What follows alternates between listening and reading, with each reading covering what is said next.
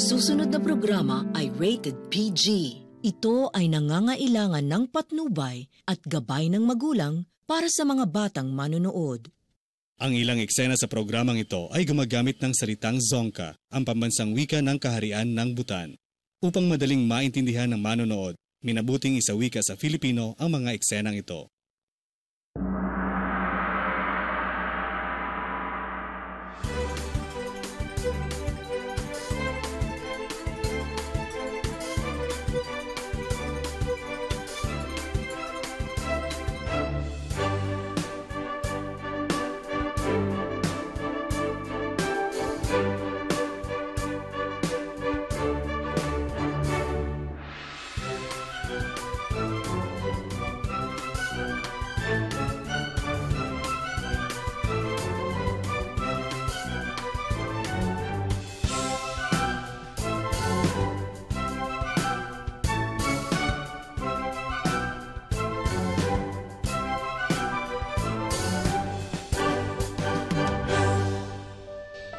Sir, pagkatapos nito, yun na po ang kausapin. Sana layuan niyo na ako. Ano po ang itinerary ninyo bukas? Ikaw gagawa ng schedule ko? Bilang executive secretary ninyo eh, trabaho ko po yun. Hindi ko naman po yun sa masamang trabaho kinuha. Naitanggapin niyo na po. Sige na, sige na, tatanggapin ko na yan. Huwag lang mong babangkitin doon sa tatay mo, ha?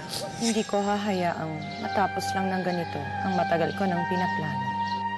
Alam mo ba kung ano sinasabi nila tungkol sa'yo? Ang cheap mo daw? Kiko, pati ba naman ikaw? Hindi naman ako naniniwala, Mikay. Pero nasasaktan ako. Para sa'yo.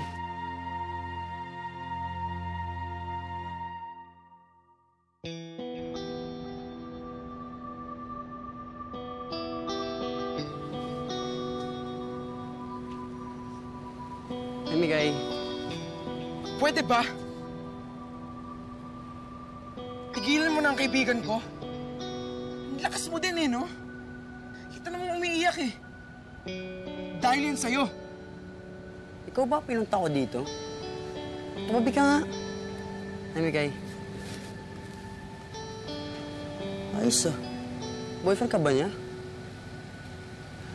Sorry, Brad. Wala siya nababanggit eh.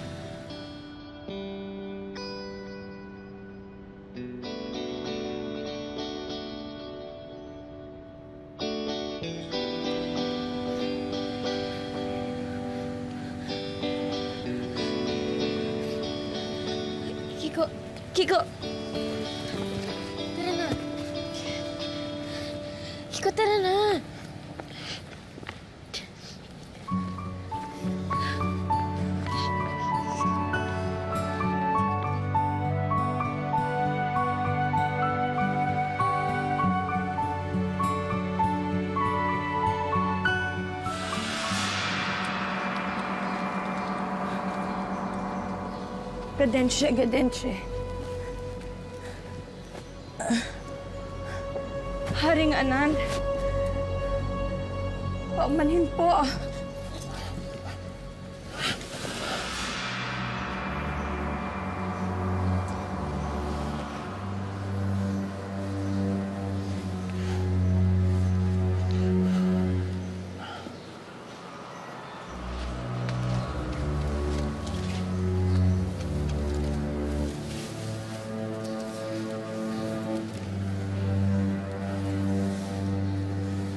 Intindihin yan. Alam ko yung pinagdaraanan mo dahil pinagdaraanan ko rin yan. Pwede pa siguro mapahinga na muna. Bibisitahin kita sa ibang araw. Pero ngayon mas mabuti. Matulog ka na muna, Bihati.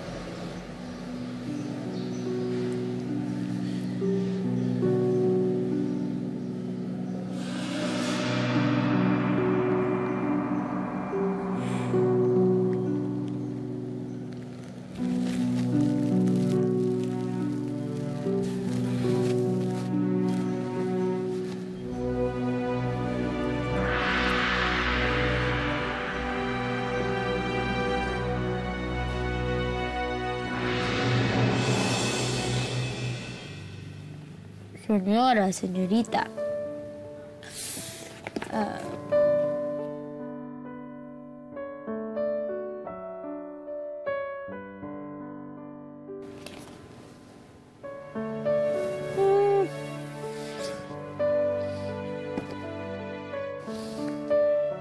Kahit na chismis lang yung kumakalat sa'yo, it's enough for the board to question your morals. It's a ground for expulsion.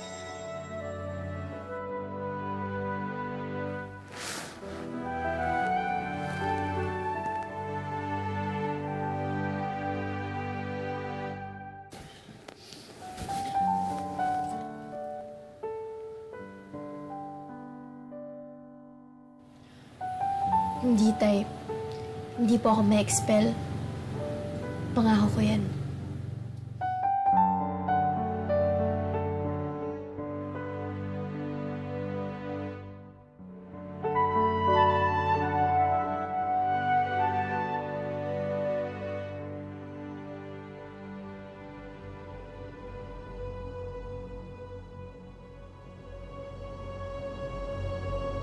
Wala na yung anak ko. Akala ko, matapang ako. Akala ko kaya ko lahat. Pero kinuha niya yung anak ko. Hindi ko na kaya.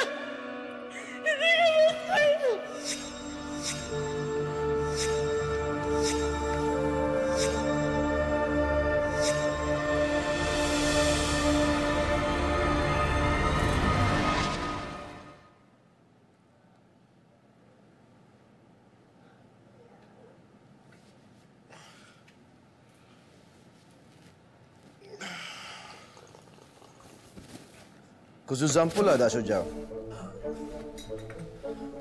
Anong oras na? Marami po tayong gagawin ngayong araw na to. Kailangan niyo pong pumunta sa embassy.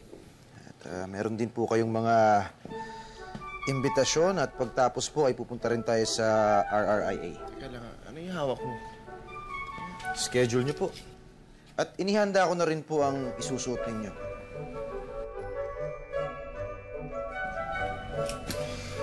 Na ba yung kaibigan na pinapahanap ko sa'yo?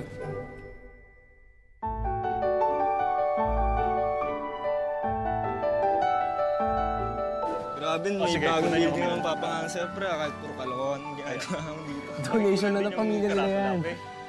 Kaya ako muna, pare. Din, Ah, yes. pinatawag niya daw po. Ah, yes, Gino.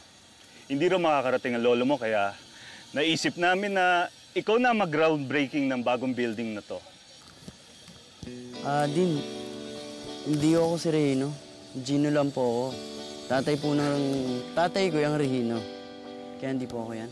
Gino, your great-grandfather is a proud alumnus of this university at ikaw ang tagapagpatuloy ng legacy niya dito. Kaya niyo yan, Din. Ah, hindi, Gino. Ikaw na. Here. Ito lang yan, Din, ah.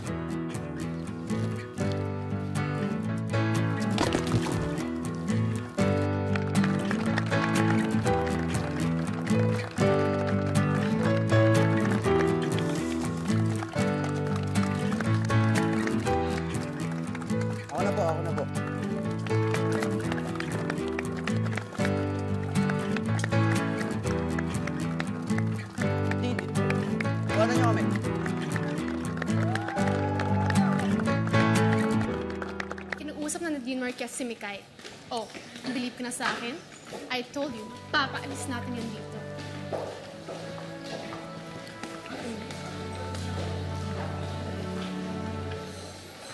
Hello! How's your social climbing expedition lately? Mataas na ba naakyat mo?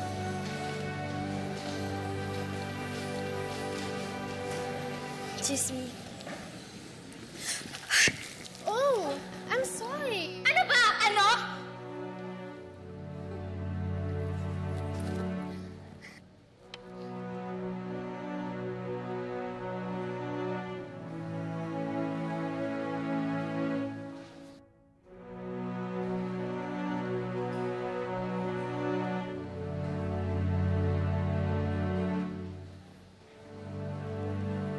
Tignan niyo nga si Mikay.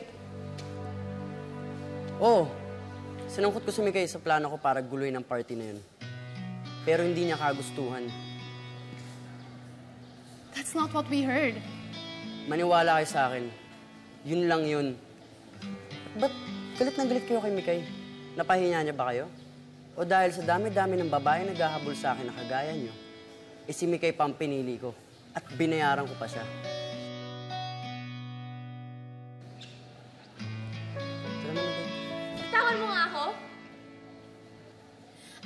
Ginagawa mo, lalo mo na ako pinapahamak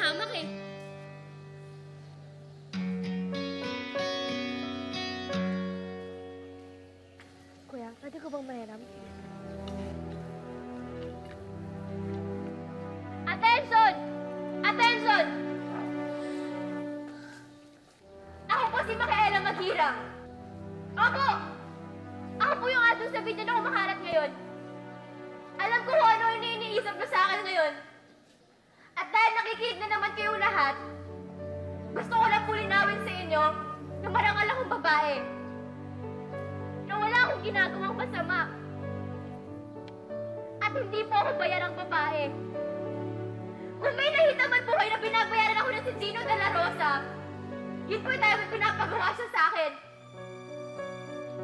At sana bago naman na ako husgahan, isipin kung bakit ko ginawa yun. Ginawa ko yun para sa tatay ko.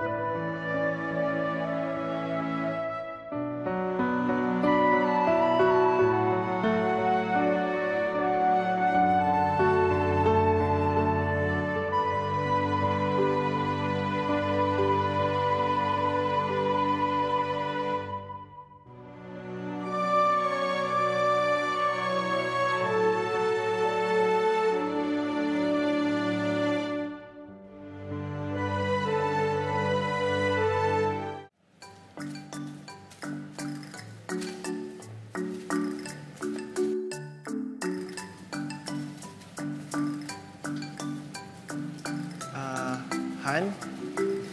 Ano to? Ah, eh, customary po dito yan, Dasyo Daw. Ginagawa po talaga nila yan kapag ah, may mga dumarating na importanteng panauhin. Hmm, Sana po magustuhan nyo. Chip, maraming salamat talaga. Alam mo, na-miss ko talaga tong asawa ko eh. Pati yung mga anak ko, excited na ako makita ko. Naiwan nga sila sa bahay, hinihintay ka na nila doon. Stella, matanong ko nga, saan ba nakakuha talaga ng pampiyansa ko? Huwag mo na intindihin yun. Importante, nakalabas ka na. Pangako ko sa'yo, maghahanap talaga ako ng trabaho. Pangako yun. Ah, tara na. Marami pa akong gagawin eh. Sir, turno muna kayo mo dito. Sige. Eh, di totoo pala, pre, na binayaran mo si Mikay para lang sumama doon sa party nyo. Eh, kaya ako nga siya sinama eh. Para may mapahiya ako sa harap ng mga kamag-anak ko. At siya ang perfect para dun. Kawawa naman, boss. Ano kawawa eh, binayaran ko naman. Iba ka talaga, Gino De La Rosa.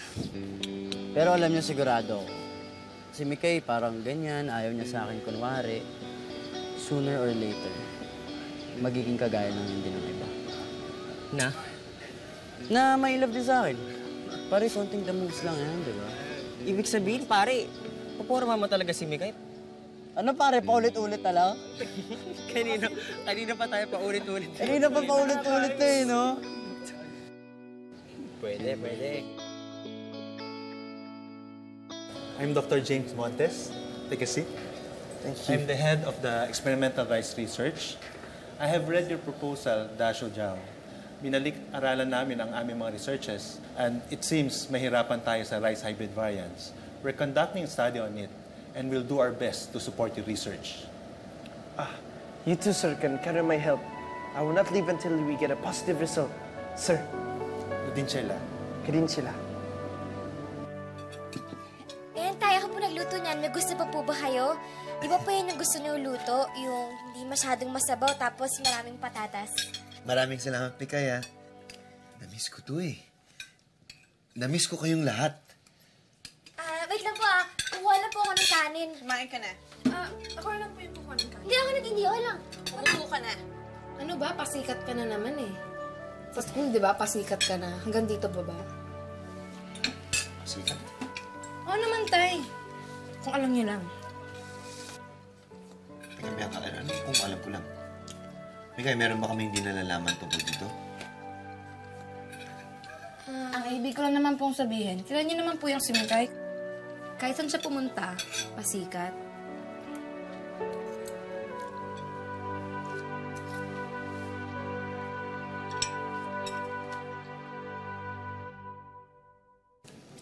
Kuha lang po akong kanin.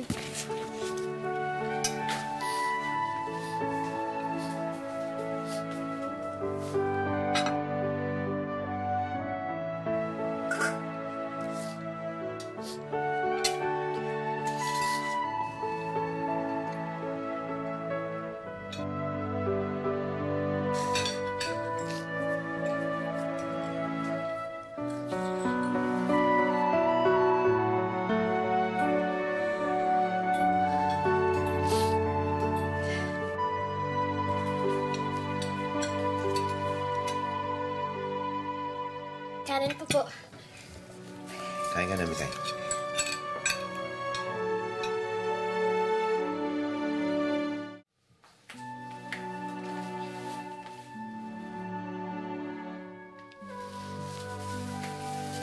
Huwag mong iisipin na kaya hindi kita sinumbong kay tatay kanina dahil naawa ko sa'yo. Hindi lang kita sinumbong kasi naawa ko sa kanya.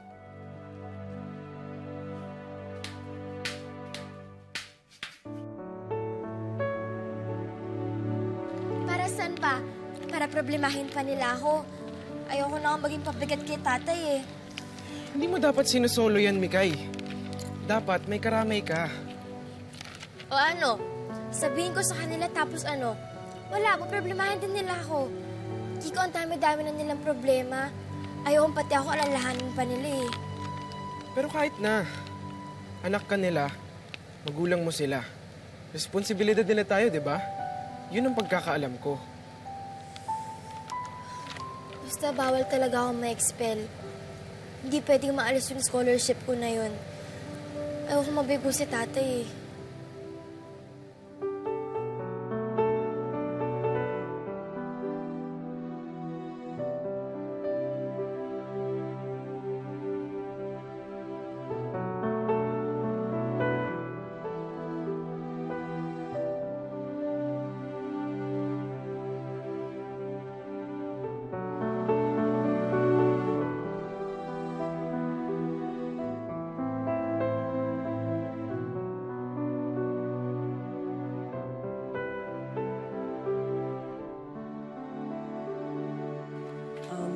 Marquez, I just came here to let you know na kasalanan ng anak ko ang nangyari. Thank you for clarifying this, Miss De La Rosa. Ah, at sana din po, wag sanang mapahamak yung babaeng na involve dahil sa anak ko. Oh yeah, sasabihin ko rin yun sa board. Uh, anyway, um, is it true na binabawi na ni Don Julio yung pagpopondo sa bagong building na ipapangalan niya mismo sa mga De La Rosa? Um, I'm sorry, Dean. Yan ang desisyon ni Papa.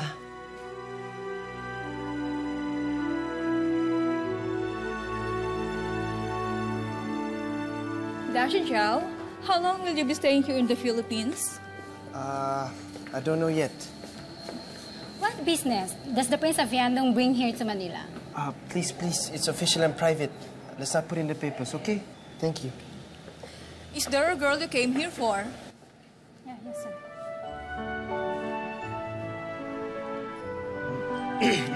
Excuse me.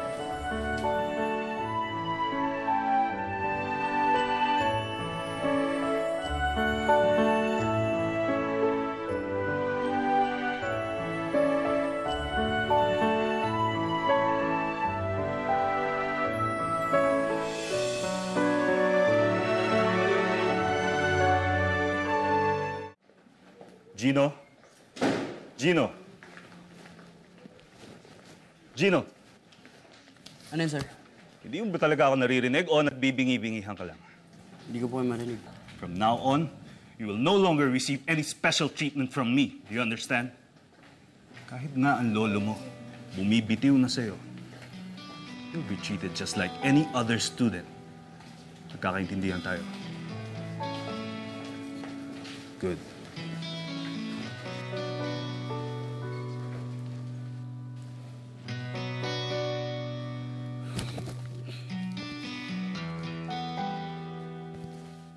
Hindi ko kailangan ng personal chef o ng personal trainer o ng personal stylist. Pero yun po yung utos ng hari, Dasyo Jow.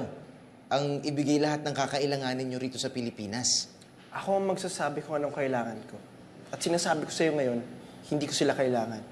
Ang kailangan ko, hanapin mo yung kaibigan ko. At saka lubayan mo ako. Hmm, patawad po, Dasyo Jow. Eh, ang hari po ang nag-utos sa akin eh. Sa kanya po ako mananagot at hindi po sa inyo. Kaya kailangan ko pong sundin ang utos niya at hindi po ang sa inyo.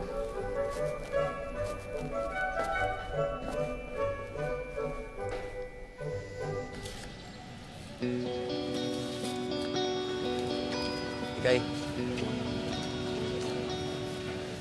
Ay, wala ka na bang pwedeng ibang tambayan? Lagi ka na lang kasi nandito eh. Hindi ka ba hinahanap yung mga magulang mo? nice ka na. Hindi ka nila kakantiin. Wala man lang ba akong thank you, ma? Kiss? Eto, ikis mo. Gusto mo? Thank you na lang. Tantanan mo na ako, tigilan mo na ako, at huwag na huwag mo na akong kakausapin. Yun! Kapag yun ginawa mo, sobrang magpapasalamat na ako sa'yo. Okay. Hilingin mo na lahat, huwag lang yan. Dahil hindi ko kayang gawin yan.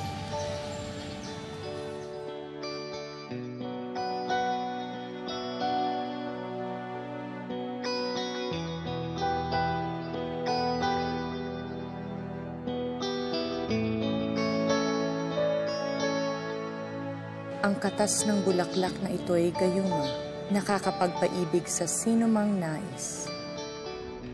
Ninoy! Iwan niyo ako! Tigas ka. Totoo bang naliligawan mo si Mikay? Hindi ko siya nililigawan. Sabi sa'yo niya. Hindi ko siya nililigawan. Dahil girlfriend ko na siya.